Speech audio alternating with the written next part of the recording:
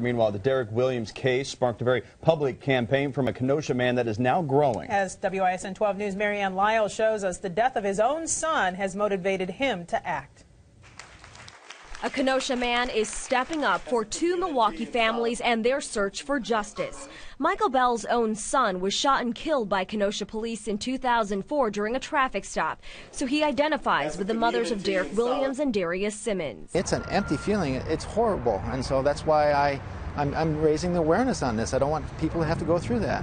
21 year old Michael Edward Bell's death was ruled justified. Derek Williams' death while in Milwaukee police custody was recently ruled a homicide by the medical examiner.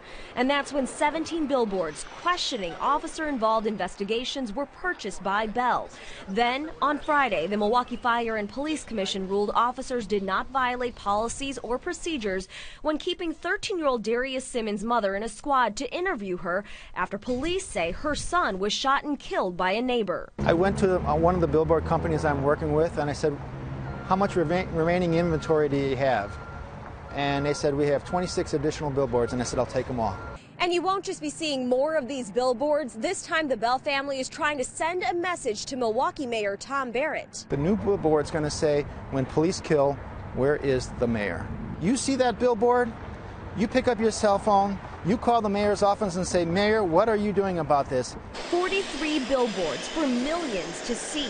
And until a change is made in policy or personnel, this father says he is not backing down.